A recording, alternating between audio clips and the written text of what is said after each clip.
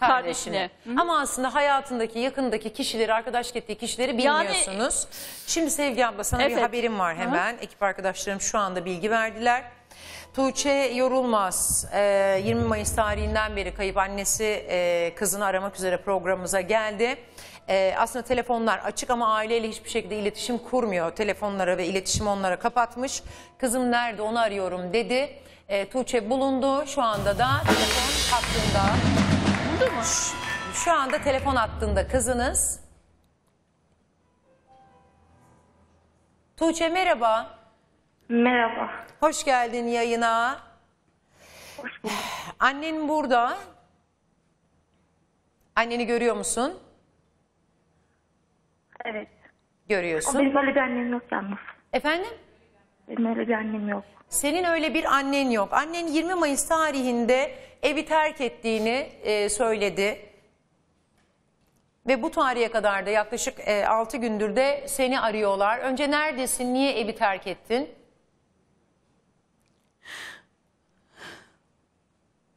Efendim?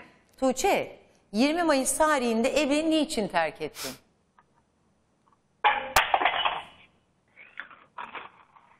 Ya ben Tuğçe kızım ne olur neredesiniz? Bana sadece iyi olduğunu söyle yalvarırım. Senden başka bir şey istemiyorum ben.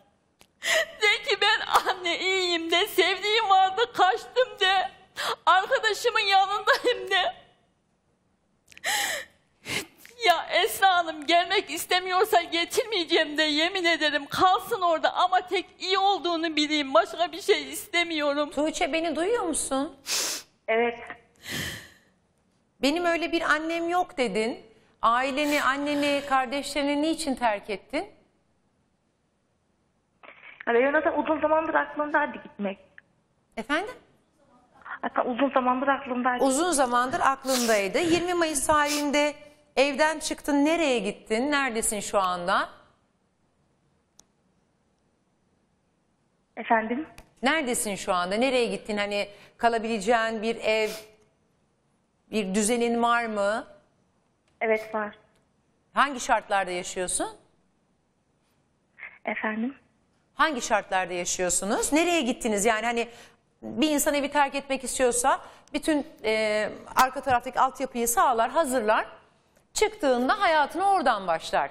Birinin yanında mısınız? Ya bir arkadaşınız mı size kol kanat geriyor? Bir plan dahilinde mi gittiniz? Tuğçe, Evet. Efendim? ben seni dinlemek istiyorum. İstersen annen de hiç araya girmez, konuşmaz. Niçin öyle bir annem yok dedin?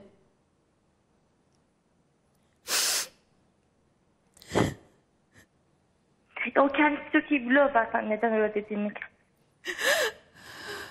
Tuğçe'cim, şu an güvenli bir yerde misin? Evet. Kendini orada güvende hissediyor musun? Evet. Peki güvendiğin biri var mı? Destek aldığın biri var mı? Evet. Birine güvenip de mi yola çıktın? Esra Hanım kimmiş ne olur ismini söylesin. Aile, siz pardon, e, bir arkadaşın yanındaysa da kabul ederim dediniz değil mi? Ya güvenli bir yerdeyse arkadaşı gü- güvendik tanıdık iyi niyetli birisi biriyse ben onu zorla getiremem zaten. Ama tek iyi olduğunu gözümle göreyim. Nerede yaşıyor gözümle göreyim. Emin olum her şeyden emin olayım. Tuğçe. Efendim? E, Rahat ailen konuşamıyor kimin musunuz? yanında olursa olsun ben e, güvenli bir yerdeyse onun bu kararına saygı duyarım diyor. Yanındaki şahıs kim? Kim? Rahat konuşabiliyor musun? Kim? Evet evet konuşabiliyorum. Ya o zaman yani kendini ifade etmekte, bu süreci anlatmakta bir sıkıntı çekmezsin. Yani sevdiği vardı sevdiğine mi kaçtı? Gelsin bizimle tanıştırsın. Nikahlarını yapalım. Çeyizini vereyim. Ben her türlü yanındayım. Sevdiğin birinin yanına mı gittin? Yok hayır benim sevdiğim falan yok. Ha, olabilir 21 yaşında bir genç e, kızsın nihayetinde. Hani tanışmışsındır, ailen onaylamaz diye korkmuşsundur. Kaçmayı tercih etmişsindir. Niçin evden kaçtığını bize açıkla. Annen de rahat etsin, ben de rahat edeyim.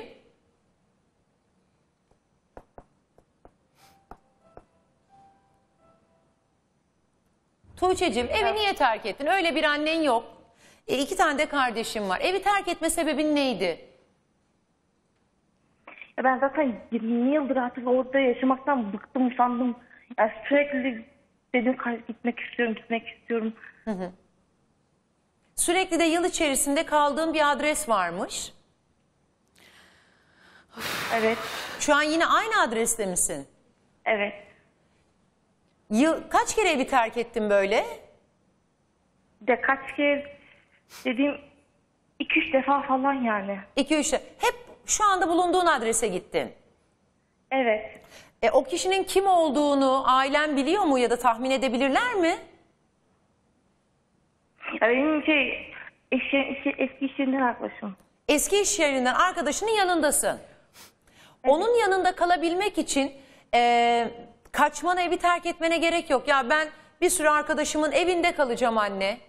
Beni merak etmeyin. Ben oradayım desen annem bugün burada olmayacaktı. O kişi evli mi? Hayır. Zaten benimle aynı yaşta. Efendim? Zaten benimle aynı yaşta. Aynı yaştasınız. Aileniz bu e, konum ya da bir yeni işe başvurdu yaptığınızla ilgili anlatımlarınıza katılmıyor. Bunların hepsi gerçek dışı değil mi? Efendim? Yeni bir işe girmediniz.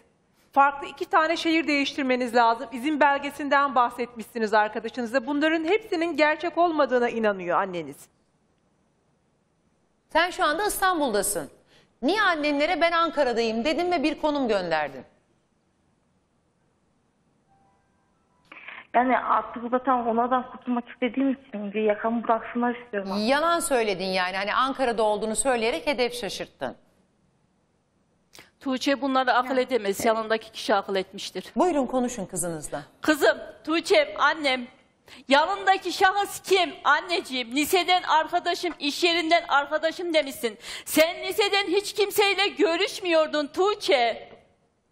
İş yerinden dedi bir de. İş yerinden kim ismini söyle ya bu kişi çıksın telefona desin ki ya benim senin kızın benim yanımda güvende benimle birlikte desin ya. Bu kişi kim kim kim? Neden kendini gizliyor neden kendini saklıyor kim? Çıksın ortaya. Şimdi tekrar bağlayacaklar.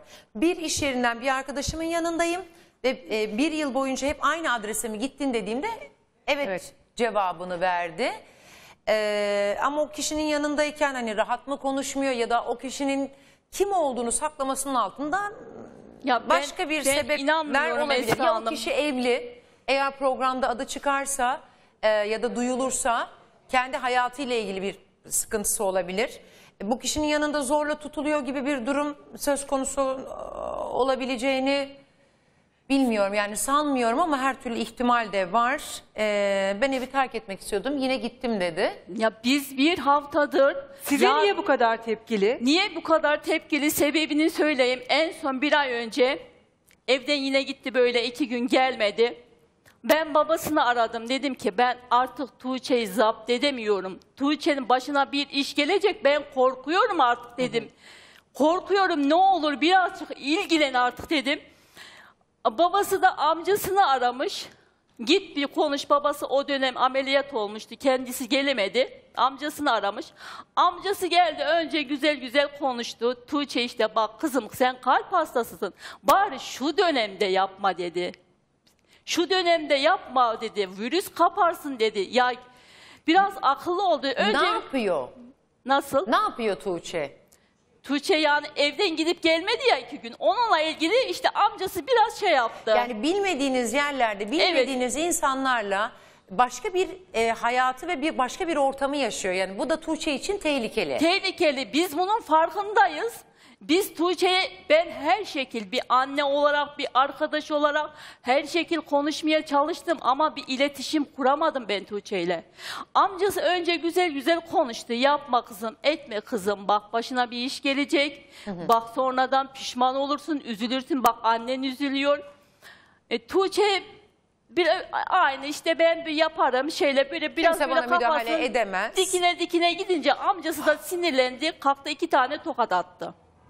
Yaşadığınız bu. Evet. Bundan dolayı tepkili. Evet bundan sonra bütün ipler koptu. Tuğçe benden soğudu uzaklaştı. Uzaklar. Babasının- Çünkü siz evet. onun e, yaptığı o hatalı Evet. davranışların ve tehlikenin farkında olduğunuz için Ondan- baskı altında evet, tutmaya ondan başladınız. dolayı bana tepki Tuğçe'ye de buradan seslenmek istiyorum. Şimdi ekip arkadaşlarım arıyor ve telefonları da açmıyor.